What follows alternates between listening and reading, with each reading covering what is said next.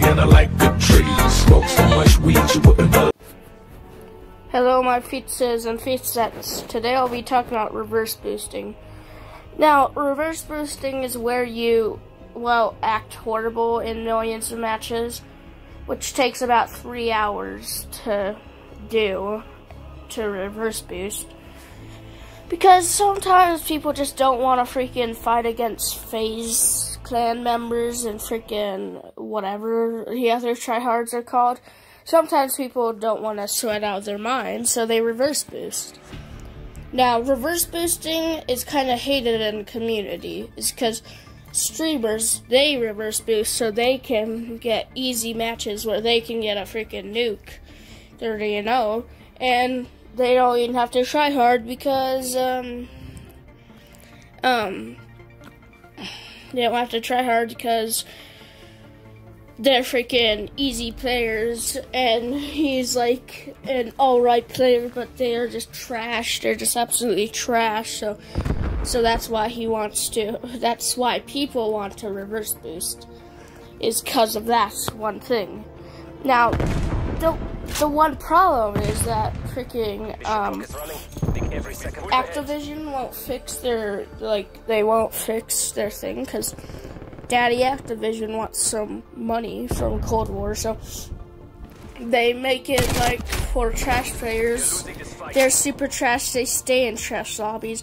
But if you actually like try hard, like try to get some kills, like you don't have to try super super hard, like join the freaking FaZe clan, 360 no smoke. No, you don't have to do that.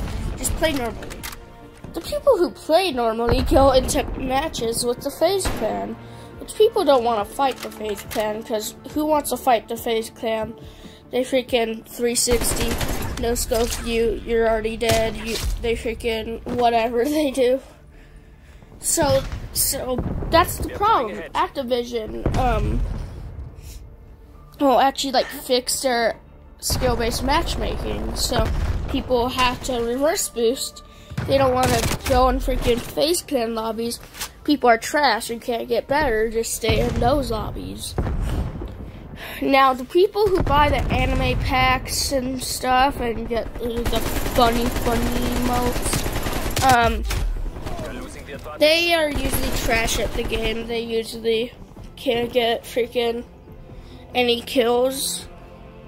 But, so, the problem, well, not the problem, is, so, they get to stay in freaking normal lobbies where you play casually because they're trash.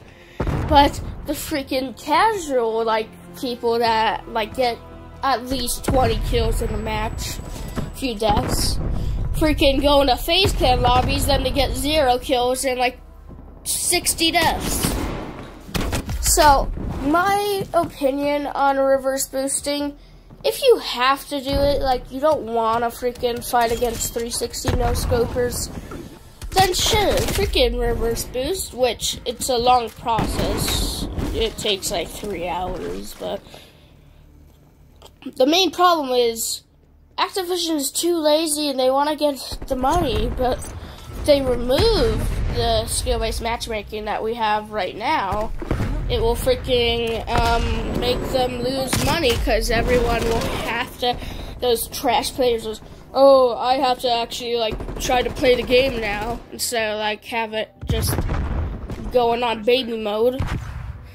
But so the reason why reverse boosting is so hated in the community is because people always think, oh, these streamers are so good at the game, but they're they're they're all right because the reason why they're so good is because they're reverse boosting. Which I think that you shouldn't reverse boost just to get show your fans that you're alright at the game or even good at the game. Like you should you should just if you're not good at a game, go to a different game. It doesn't it doesn't have to be Call of Duty. Just don't go into a game that you suck at you should just, um, well, join a game that you're good at and you love playing. People don't want to play a game where they have to sweat, except Like people that like won 12 championships, got tons of dollars from playing COD, and freaking can like um they have a hundred percent accuracy. No, nobody wants to fight those people. Some people do want to be that, but sometimes you're just not as good. And you shouldn't just freaking um you sh- should reverse boost if you're like bro i want to play my game. I spent $60 on this. I don't want to waste my money. Nobody wants to waste money on a game that freaking makes you sweat your balls off. No nobody wants to do that so um probably you should um just go to a different game if you're a streamer.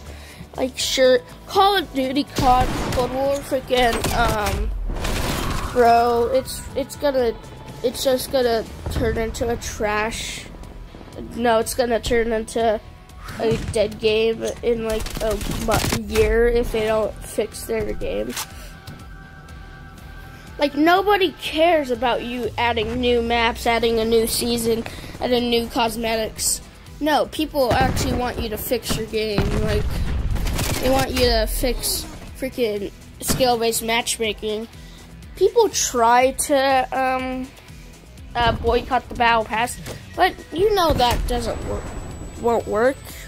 It's only a little bit of money off Activision's side, but all I have to say is, uh, COD is gonna, Cold War is gonna die soon if they don't fix their game. And if they don't fix their game, well, they're kind of screwed. But yeah, I guess this is the end of the video, guys. Um, follow my Instagram, follow my Twitch, uh, subscribe, smash that like button, comments, uh, join my Discord server, join my new Discord server. And I guess that's all, folks.